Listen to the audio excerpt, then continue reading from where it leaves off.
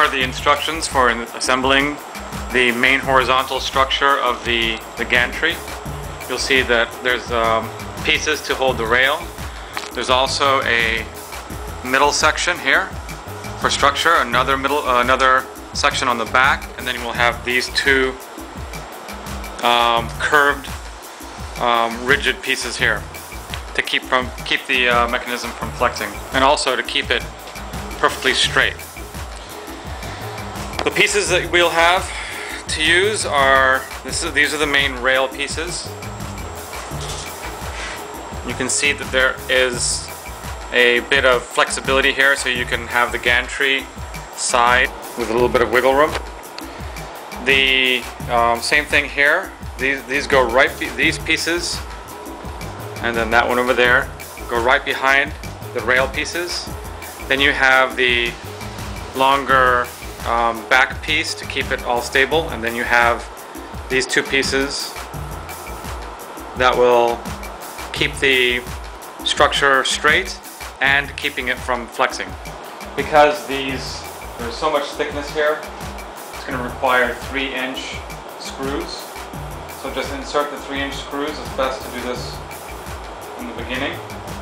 And these holes will be pretty tight, sometimes they'll be pretty tight, sometimes they'll be loose, depending on the anvil that's used. So let's get started.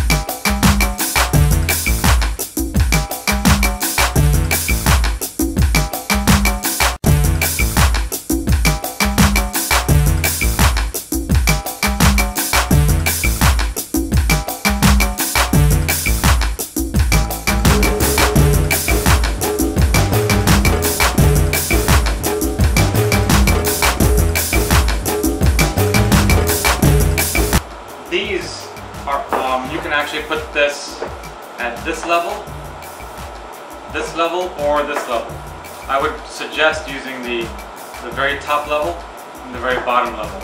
You'll also notice that you have the, these screws are pretty much aligned. And these will also um, require um, cross dowels.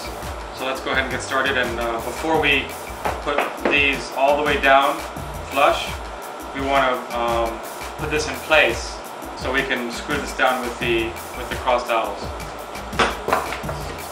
So the best way that I know to do this is to lay this down flat um, and you'll have this piece ready to receive the screws. You can put these screws in just a little bit so it, it goes into the it goes into this piece up to that, to up to the hole, and then it'll um, do that to all of the screws, and you'll have a pretty, pretty good connection so you can start putting the cross dowels in.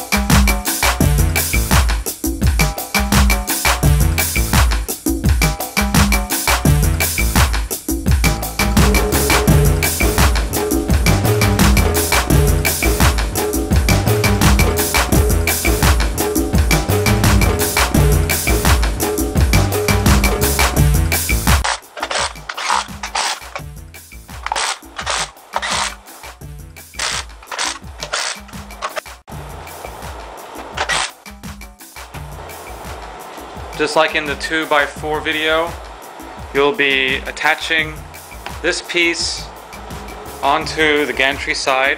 It'll rest right here and it'll, it'll attach with four cross dowels on this side and the same thing here. Four cross dowels and the screws are Actually on yours they'll be they'll be countersunk so they won't be interfering with this area right here. This doesn't interfere but I think I'm just lucky.